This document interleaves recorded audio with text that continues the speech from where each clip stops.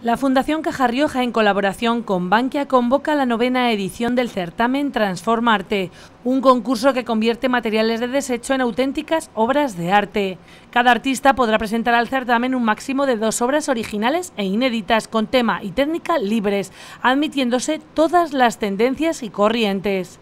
Las obras se presentarán en formato tridimensional, no excediendo los 200 centímetros de alto y los 50 centímetros de cada base.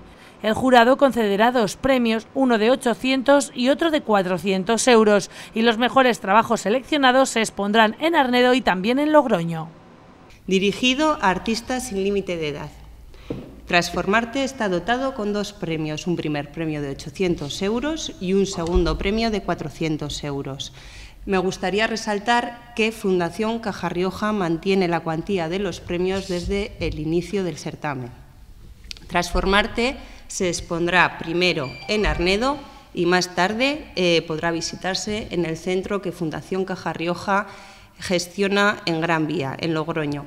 Creemos que con esta muestra de Logroño lo que eh, fomentamos es eh, que los ganadores y los participantes de este certamen eh, tengan una mayor, una mayor promoción, además de que el público de Logroño tenga la oportunidad de ver esta muestra que todos los años es realmente eh, creativa, interesante y curiosa. Como siempre, desde Bankia han aplaudido la puesta en marcha de este tipo de iniciativas que promueven la cultura y el arte y en esta ocasión también el reciclaje y el cuidado del medio ambiente.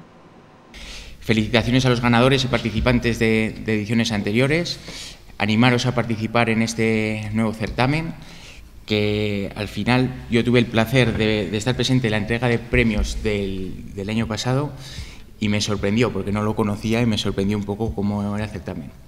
Parece mentira cómo con materiales que parecen ya que son inservibles, que cómo los artistas, que son verdaderos artistas, lo transforman para realizar verdaderas obras de arte.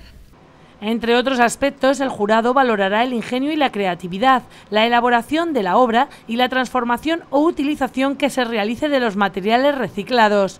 Así que quienes tengan inquietudes artísticas ya pueden comenzar a plasmarlas, ya que el plazo de recepción de trabajo será del 5 al 23 de septiembre.